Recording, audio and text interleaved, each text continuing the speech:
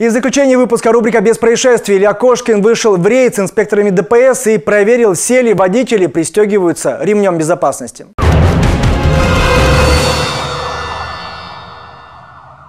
Ремень безопасности – вроде бы простая вещь, но именно она может спасти вам жизнь.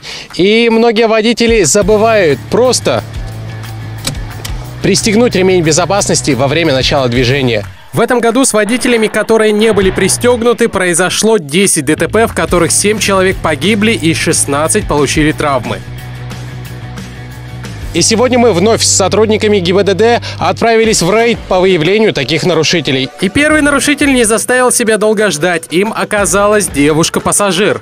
Предупреждали пассажира о том, что необходимо пристегнуться ремнем безопасности. Сами вы, я вижу, пристегнуты.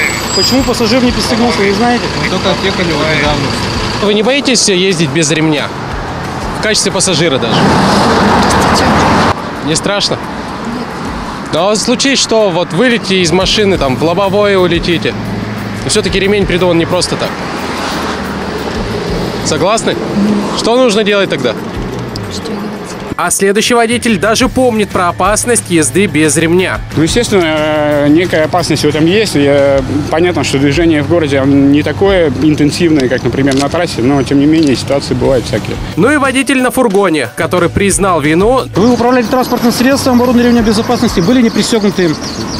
Вину признаете свою? Да, конечно, давайте. Но решил закрыться в машине и не отвечать, почему же он нарушает. А вот еще один мужчина, который сразу же стал раскаиваться. На самом деле, да, расстроенный, в больнице еду, злой. Вот немного, да, допустим. Достаточно уже вот попался, этого достаточно, на самом деле. Я не нарушаю, даже можно пробить. Ни одной нарушения не найдешь. Этого уже мне самому достаточно. Водителю перед поездкой необходимо напомнить пассажирам о том, что они должны пристегнуться ремнями безопасности. Ну что, в нашем городе все еще есть водители, которые ездят непристегнутыми. А я хочу просто сказать, запомните два движения. Возьмите ремень и пристегните его. Именно эти действия помогут сохранить несколько тысяч рублей в вашем кармане, а самое главное – сохранить вашу жизнь. Меня зовут Илья Кошкин, это рубрика «Без происшествий».